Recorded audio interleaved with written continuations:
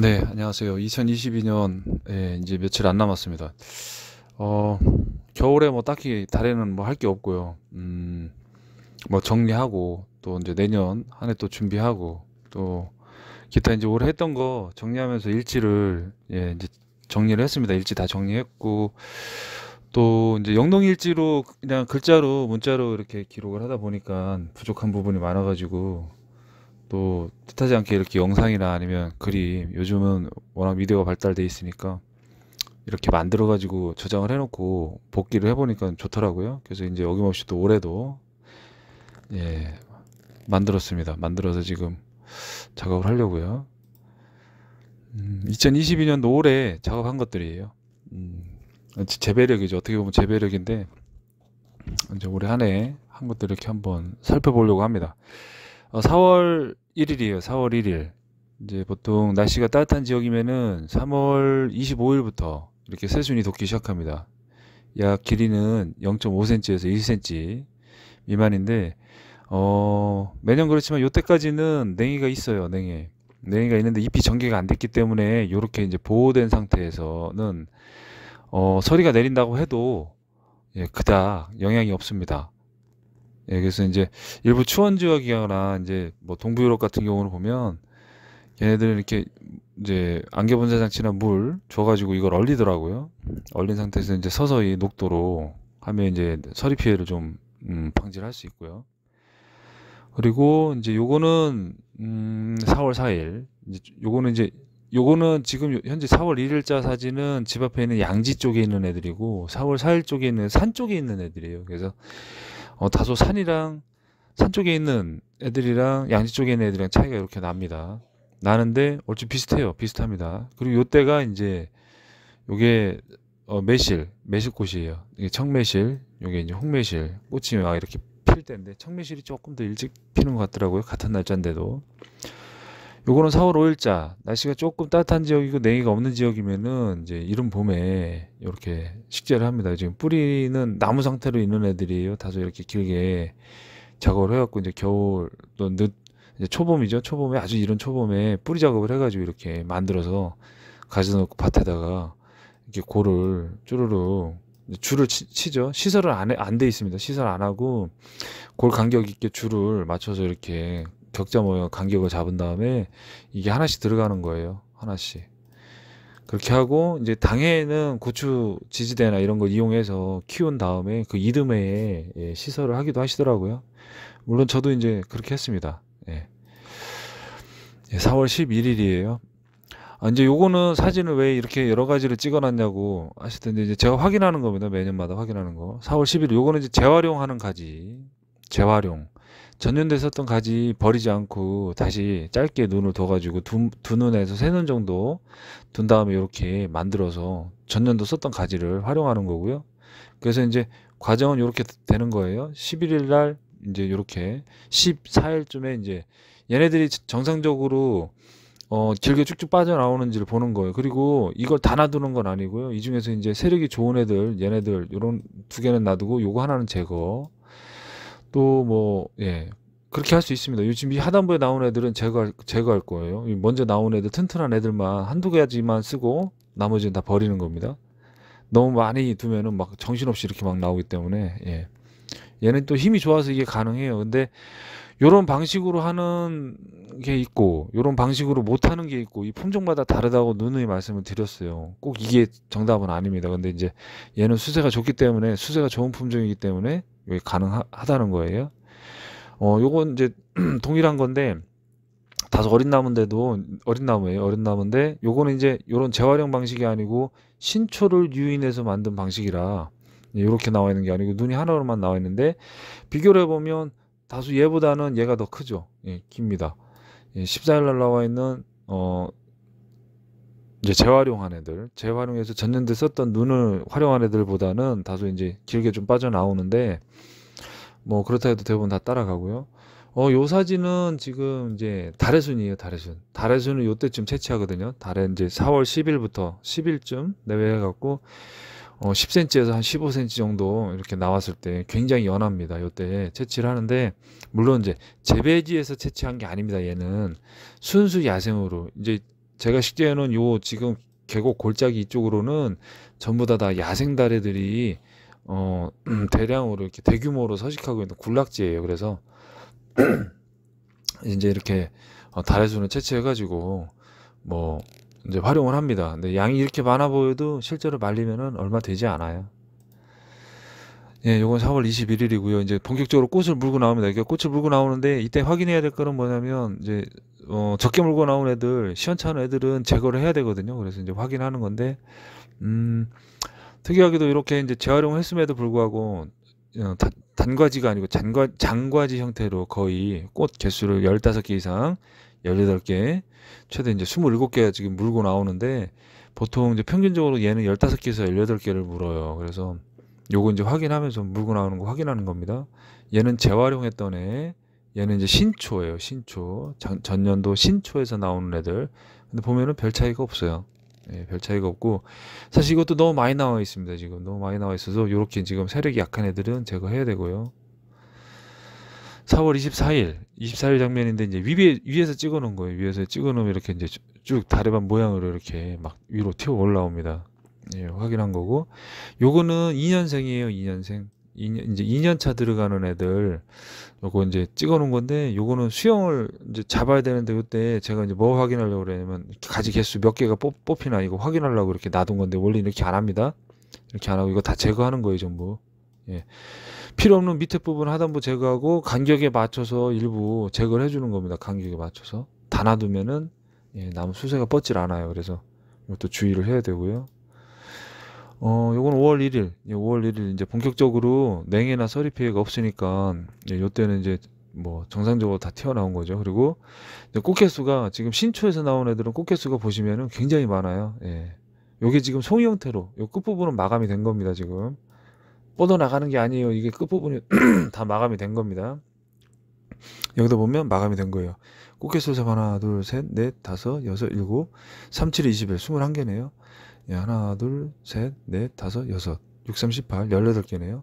이렇게 해서 최소 열여덟 개 이상, 열다섯 개 이상 물어줘야 송이 형태로 예, 만들 수가 있어요.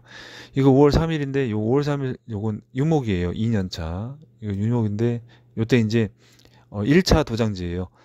가장 이른 봄에 나왔던 첫순, 첫순을 가지고 뽑아내는 도장지들입니다. 예. 힘차게 나가는데 음, 사실 1차 도장지, 요때가 1차 도장지라고 하면 1차 도장지를 대부분 활용하면은 빠른 수영을 잡을 수가 있는 장점이 있고 단점은 1차 도장지라고 해서 튼튼하게 나온 게 아니기 때문에 다소 힘겹게 지나가요. 그래서 중간에 한 번은 끊어서 연장을 해야 될 때도 있어요. 그래갖고 1차 도장지가 막 아주 좋은 건 아닙니다. 1차 도장지는 수영을 유지하는 데 도움은 되지만 어, 다음에 정상적으로 수확을 하는 데는 그다 도움은 안 됩니다. 이유는 뭐냐면 2차 도장지 6월 달에 나오는 도장지들이 훨씬 좋아요. 예. 거기에서 나오는 가지들이 꽃게수를 더 많이 물고 그렇더라고요. 그다음에 요건 5월 5일. 지금 요거는 이제 음, 묘목 지금 나무 뿌리를 만들어 갖고 뿌리 작업을 해서 키워 가지고 옮겨 심는 작업을 하고 있는 겁니다. 예, 요 때가 가장 안전한 때고요. 요 때가 가장 많이 식재를 하는 때예요. 4월 초 또는 3월 말 식재는 사실 약간 불안불안하거든요. 그래서 냉해가 있는 지역이라면 조금 피하는 게 좋고요. 어, 재배지가 조금 냉해랑 상관없는 지역이다. 어, 다소 나는 조금 따뜻하니까 괜찮아. 그러면 이제 그때로 들어가는데 가장 요때가 안전하면서도 제일 좋을 때예요. 그런데 단점 조금 늦, 늦게 들어갔으므로 어, 첫 번째 이렇게 나오는 도장질은 유도할 수가 없고요. 지금 위에 올라왔다 그러지 요 위에 올라가는 순들이 제대로 뻗는 건 아닐 겁니다. 예. 뿌리가 다쳤기 때문에 스트레스가 있어가지고 얘네들은 뻗지 않아요. 그래서 이제 장단점이 있으니까 대신에 요렇게 요때 심는 건 애들 애들은 절대 죽을 일은 없습니다. 죽는 일이 예, 있을 수가 없어요. 요때는. 예, 5월 중순이고요. 5월 중순, 5월 15일. 요때부터는 이제 주위에서 잘 봐야 돼요. 요전에는 할 게 없고요. 사실 요전에는 해야 될 게 뭐냐면 이제 5월 15일 전에 꽃이 완전히 만개하기 전에 요때는 뭐 방제를 할 수 있으면은 이런 시기에 예, 살충제, 살균제 한번 들어가면 좋습니다.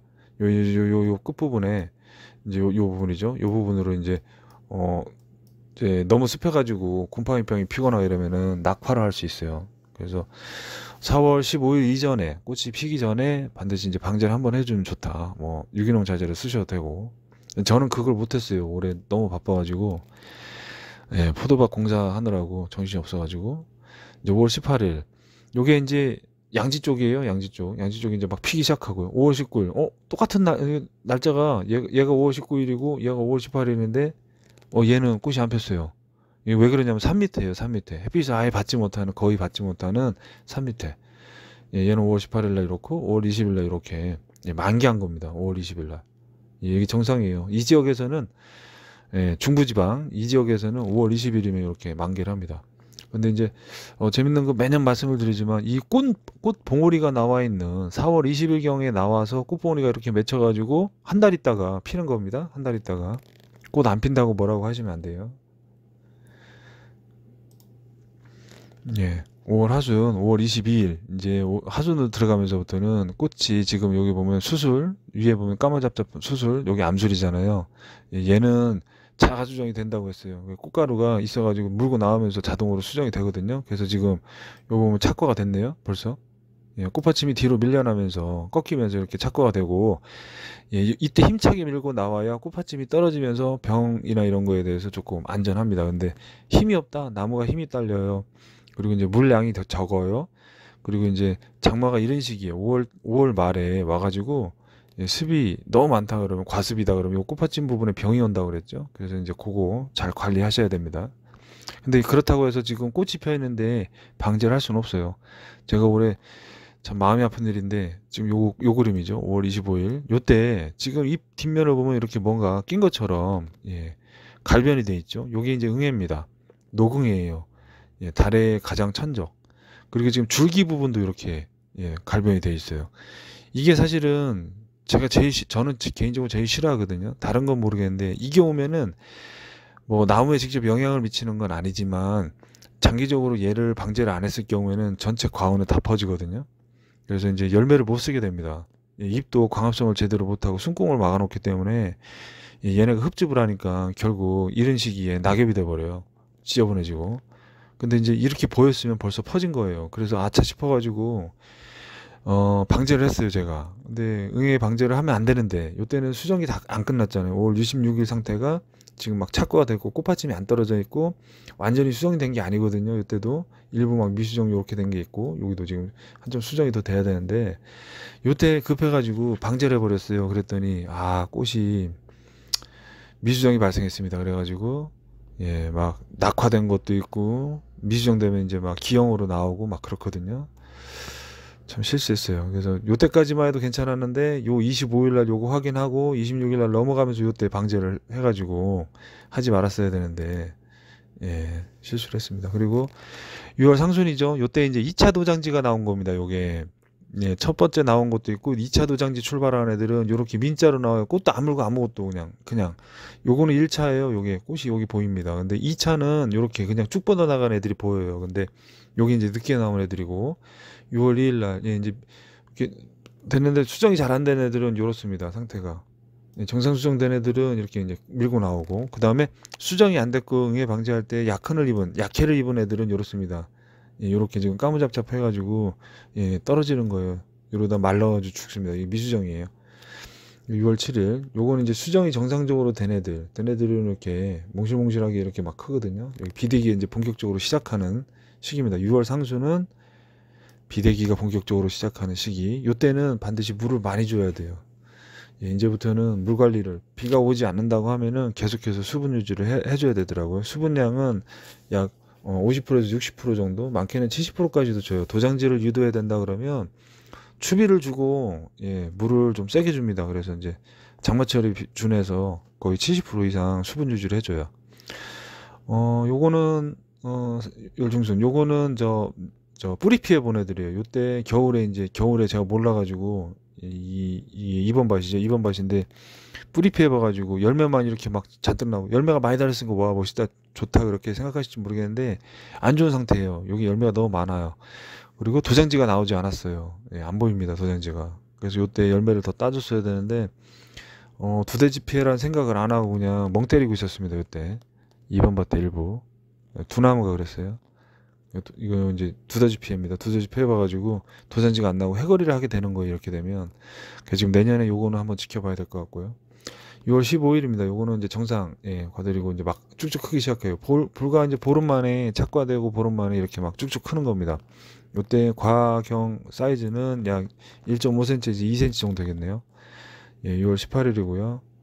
6월 18일 사진인데 뭐 별 특이 사항은 없습니다. 요때도 요때는 이제 그 선녀벌레가 시작이 됩니다.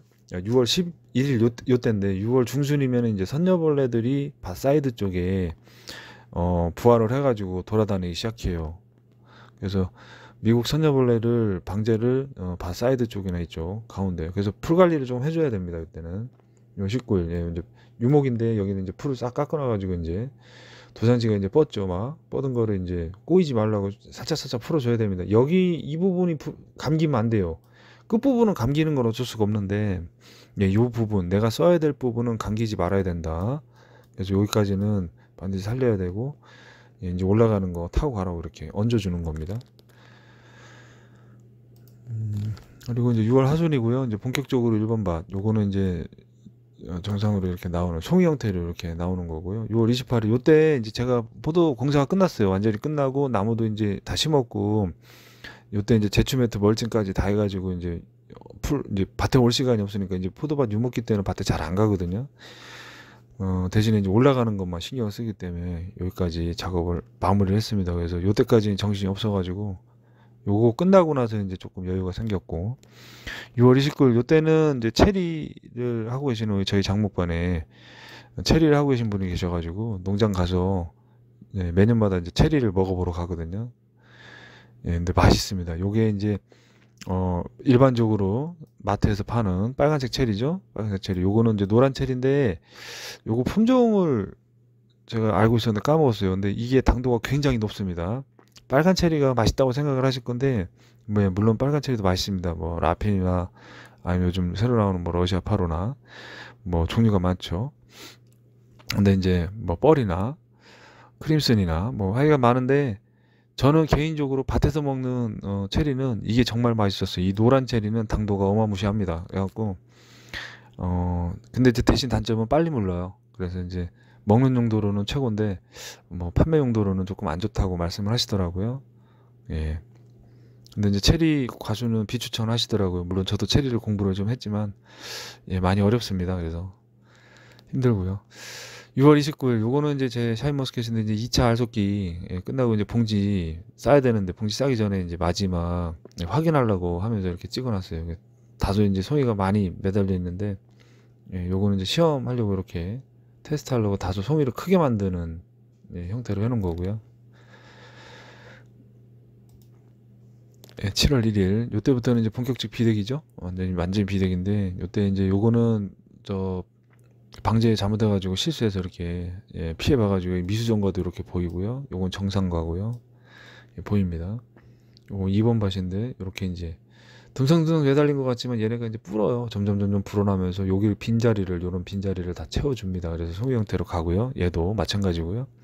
이렇게 듬성듬성 있어 보이지만 이제 열매가 점점 점점 커지면서 예 송이 형태로 갑니다. 이때도 제일 주의해야 될 게 보면은 어 지금 보면은 요쪽은 이제 음지 쪽이에요. 지금 여기 음지 쪽, 이쪽은 양지 쪽인데 양지 쪽 애들이 이파리를 보면 이렇게 꾸기고 있어요. 다소 예, 뜨거워서 그렇습니다.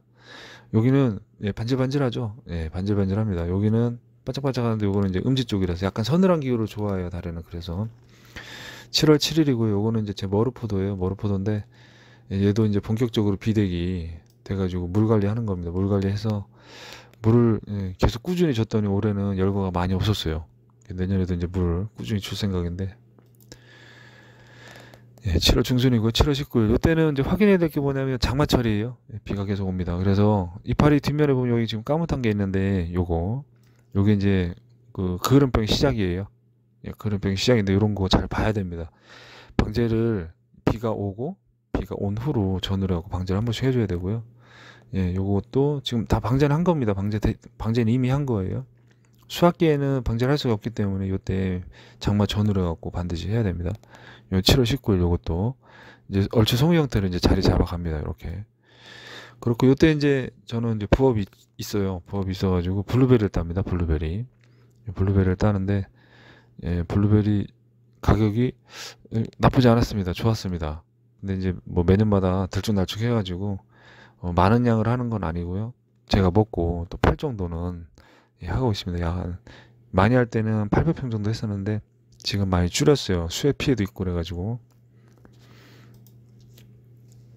예, 7월 말이고요. 이제 7월 하순으로 접어들어서 이제 풀이 막 이렇게 자라기 시작해요. 근데 이걸 왜 찍어놨냐면 여기 보시면은 여기는 지금 없어요. 풀이 색깔이 달라요. 컬러가. 왜 그러냐면 여기다 이제 거름을 주니까 예, 거름 거름이 들어간 부분은 이렇게 시퍼렇게 갖고 막 나오고 거름이 안 들어간 부분은 이렇습니다. 예. 그리고 고랑 부분은 특히나 용탈이 심하잖아요. 그래서 용탈이 심하다는 게 뭐죠? 예, 거름기가 다 빠져나간다는 거잖아요. 그래서 예, 그거 이제, 이제 구별, 구분하는 거 이렇게 어떻게 이제 거름이 들어갔는지, 거름이 효과가 얼마나 어떻게 나오는지 보려고 이렇게 사진을 찍어놔서 그래서 거름 들어간 자리는 이렇게 막 풀이 무성하게 크는데 안 들어간 자리는 또 이렇게 됩니다. 예, 이제 본격적으로 이제 비대기가 끝나고 이제 숙성기가 들어갈 준비를 하는 건데요. 이때 되면 이렇게 송이 형태로 자리를 잡습니다. 네, 자리 잡고 비대기가 본격적으로 다 거의 끝나갈 무렵이에요. 그래서 이때 이제 사이즈를 손을 대서 이렇게 재보면은 손가락 두 마디, 두 마디 반 이렇게 사이즈가 나오는 거고요. 다소 이제 어, 과피 표면을 매일 관찰하고 확인을 해야 돼요. 그래서 이제 미리 선제적으로 방제를 해야 되고 예, 방제를 하게 되면 이렇게 이제 예, 좀 다소 이쁘죠. 이때부터 사실은 그을음이나 이런 게 오는데 예, 방제가 실수 없이 들어갔어요. 올해는 제가 바짝 처음에 신경을 잘 썼습니다. 처음에 잘못해가지고. 아, 요거는 이제, 예, 요, 요게 이제 가장 주의해야 될 거. 미수정거가 발생했을 때, 예, 미수정거가 발생, 요게 말라붙어 갖고 꼭지가 떨어졌잖아요. 요거를 일일이 다 제거해야 돼. 제거를 못하면, 여기서부터 병반이 시작이 돼요. 이게 이제 제피곰팡이거든요. 제피곰팡이병인데, 제피곰팡이가 여기서 이제, 어, 썩어가지고, 어, 포자들이 살고 있다가, 장마철이 지나고 하면은, 이렇게 이제 그 떨어지면서 여기 여기다가 이렇게 이렇게 병반을 넓게 형성을 하는 겁니다. 물론 얘는 닦으면 닦여요. 근데 문제는 뭐냐면 그게 문제가 아니고 이게 퍼진다는 거예요. 주변으로 옆으로. 그래서 반드시 제거를 그냥 아예 제거를 해주는 게 좋고 전체적으로 다 있다 그러면은 그건 정말 골 아픕니다. 전체적으로 이게 다 왔다 그러면은 어 이게 이미 발생한 상태에서는 살균제가 들어간다 하더라도 그닥 효과가 많이 없어요. 그래서 미리 이, 이, 얘네들이 오기 전에 반드시 해야 됩니다. 지금도 이거 이제 제거해가지고 이렇게 보는데 이렇게 해갖고 미수정이 돼서 어, 병이 시작이 되면은 이렇게 온다는 거. 그래서 요거 요런 게 발생하지 말아야 되기 때문에 수정기에 참 조심했어야 되는데 올해는 잘못했어요. 제가 그래갖고 요게 맞습니다. 그래서 뭐 전체적으로 다 온 건 아니고 한 0.5% 0.1%뭐 거의 보이지 않을 정도 예, 와가지고 일단 다 제거는 했습니다. 제거하고 예, 정리했고 근데 일단 찍어둔 거예요. 제빵 곰팡이가 이렇게 온다는 거 장마철에 맞춰가지고 그리고 8월 6일. 요게 이제 요거는 왜 찍어놨냐면 정상가들이 이렇게 나오는데 여기 미수정과. 예, 한두 개씩 껴 있어요. 미수정과 제거해야 되는데 제거를 안 해가지고. 음, 8월 6일. 요거는 왜 찍었냐면 여기 지금 어 보면은 야 이제 숙성기 들어가잖아요. 숙성기 들어가면 얘는 특징이 뭐냐면 요 과경 부위에 요 요게 길어요 다소. 굉장히 깁니다. 얘는 길쭉하게 나와요. 길쭉하게 나오면서 여기가 경화돼요 예, 회색으로 이제 진한 회색으로 경화되는데 요거 확인하면은 이제 아 요게 숙성기가 들어갔구나. 요걸 알 수 있습니다. 그래서 요게 숙성 어, 숙성기가 들어가면 요게 과경이 이렇게 회색 빛으로 이렇게 지나면서 이렇게 나무 색깔로 변하는데 요거 변하고 난 다음부터는 안 떨어져요. 웬만해서. 뭐 태풍이 불고 바람이 불고 막 이래도 절대 떨어지는 일이 없더라고요. 근데 요 전에 이제 세팔할 때 이때는 진짜 요 요런 요런 병이 오잖아요. 그러면 제피곰팡이나 물음병 이런 게 오면은 떨어지게 돼 있습니다. 그래서 낙과는 요때 조심해야 되고요. 근데 이제 일반적으로 거의 지금까지 저는 낙과를 얘는 본 적이 없어가지고 예 이렇게 돼 있습니다. 이렇게 그리고 요거는 이제 코르크화된 거죠. 코르크화된 건 요건 뭐냐면 서로 이렇게 때렸을 때 과피 상처가 나면 이렇게 코르크화가 진행이 돼요. 근데 이제 다소 다행스러운 건 얘는 어 요런 코르크화가 거의 없습니다. 왜냐면 열매가 이제 형태가 고정이 되기도 하고요. 그리고 이렇게 경화된 다음부터는 거의 이제 흔들리지 않고요. 과피가 살짝 두꺼워요. 예, 다른 것보다는 다른 품종에 비해서는 좀 두꺼운 편인 것 같고요. 그리고 코르카가 된다는 이유는 이제 막 이렇게 주, 주변에 이렇게 집어넣어 잎이 서로 스치거나 열매끼리 부딪혀서 막 이런 일이 벌어지는데 또는 벌레들이 와갖고 이제 여기다가 어, 배변 활동을 하면서 긁어놔요. 이렇게 이제 얘네가 움켜쥐고 이 표면을 이동을 해야 되기 때문에 매끄러운 이 표면을 이동하면서 상처를 냅니다. 그러면 이제 그게 상처가 아물면서 이렇게 코르크가 진행이 되는데 얘는 어, 방제만 조금 해주면은 이런 코르크가 되는 거는 어, 거의 보이지 않습니다. 예. 예. 여기도 이제 어 8월 중순 이제 막, 막 수성이 거의 이제 막 막바지 들어가는 거예요. 그래서 열매 또 확인해야 되고 이렇게 소형 형태로 들어가 있기 때문에 그리고 여기 지금 보면 이렇게 이파리가 있, 있는데 여기 지금 이파리가 한두 치가 사실 있었어요. 이렇게 막 이파리가 이렇게 있는데 요렇게 요렇게도 막 있어요. 있는데 그 잎들은 제가 제거를 한 겁니다. 요, 여기도 보면은 요, 요 중간에 잎들이 이렇게 튀어나와 있어요. 막 이렇게 있는데 그런 잎들은 제가 제거를 합니다. 지금 요거는 아, 요, 여기 지금 요 부분에서는 스칠 일이 없지만 요게 가깝게 붙어 있다 그러면 예, 스칠 수 있어요. 그래서 제거를 한 겁니다. 요것도 마찬가지. 여기서 이파리가 막 이렇게 삐죽삐죽 삐죽삐죽 나와 있는데 제거한 겁니다. 어, 그런 거는 지나다니면서 하나씩 보이면은 야 얘가 얘를 때려가지고 상처를 낼 수 있겠구나 그러면은 제거를 해주면 좋습니다. 얘도 마찬가지 옆에 있는 거 제거해서 이렇게 예, 해, 놓은 겁니다. 제거를 하지 않고 그냥 놔둔다 그러면 이런 모서리 틈이나 이런 걸로 때리면은 예, 상처가 아물면서 또 지저분하게 코르크가 올 수 있어요. 예, 요거는 이제 8월 말 하순 이제 막 본격적인 수확기가 다 된 거예요. 여기 확인하는 겁니다. 예, 그 요거는 아 29일 요거 요 사진은 이제 두더지 피해 봤다고 했던 애들이에요. 근데 이걸 왜 찍어놨냐면 지금 보면은 도장지가 한 개도 없어요. 그리고 잎이 벌써 8월 달인데도 일부 지금 이렇게 갈변되는 게 보입니다. 나무가 힘들어서 그렇고요. 잎을 오므리고 있어요. 예. 힘든 겁니다, 이게. 나무가. 이제 뭐 걸음도 줘보고 물도 줘보고 막 온갖 걸 다 해봤어요. 다 해봤는데 역시 안 되고요. 어 결국은 이제 열매 이 개수를 많이 줄였어요. 근데 열매 개수를 줄여도 안 됩니다. 도장지는 이제 더 이상 안 나와요. 왜냐하면 8월 달이기 때문에 도장지는 6월 달까지 7월 초 장마까지만 그때 이제 유도를 할 수 있고요. 그 이후에는 이제 이렇게 된 겁니다. 내년에 해거리 할 거예요. 그래서 얘는 이제 지켜봐야 되려고요. 요때 이제 포도 같은 경우 모로포도는 요런 요런 식으로 숙성 들어갑니다. 8월 30일이면 당도가 이제 오르고 모로포도는 착색이 먼저 되고 그 다음에 숙성이 되는 품종이에요. 이제 착색 계열의 품종들은 어 익으면서 색깔이 오는데 얘는 색깔부터 오고 그 다음에 익는 거예요. 예, 요거는 이제 9월 상순 좀 이런 시기에 이제 뭐 맛을 보고 싶다고 하셔가지고 예, 수확을 시작을 했어요. 이제 이미 숙성은 들어가긴 하는데 당도는 다소 떨어졌어요. 이때 당도가 14에서 15 정도 나오더라고요. 후숙됐을 때. 그리고 기본 당도는 7브릭스 나왔어요. 7에서 8브릭스. 근데 이제 어 개화 시점 5월 20일 날 개화를 했잖아요. 그래서 개화 시점으로부터 요때 9월까지를 따지면은 음약 어, 100일입니다. 딱 100일. 근데 얘는 수학 모든 달애들이 그렇지만 105일에서 110일을 두는 것 같더라고요. 그래서 저도 지금 얘도 마찬가지로 110일 정도 개화 후 110일 이후에 수확하는 게 맞다라고 판단하고 있습니다. 그래서 요거는 조금 이른 시기에 나가가지고 조금 당도가 그리고 어 숙성이 막바지라 하더라도 이때도 물을 계속 주고 계속 관리를 하, 게 되면 예, 비대는 계속 되고 있어요. 조금씩 조금씩.